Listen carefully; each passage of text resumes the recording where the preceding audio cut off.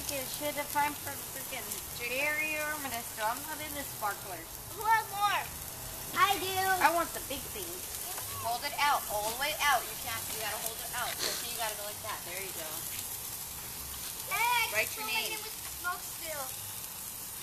By your toes. Hey, jeez. See what I'm saying? This kid, jeez. That's why I pulled his arm.